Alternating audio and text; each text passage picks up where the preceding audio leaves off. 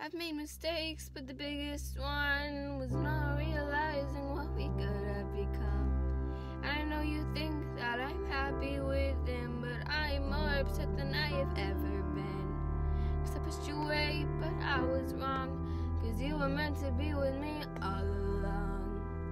I thought I found someone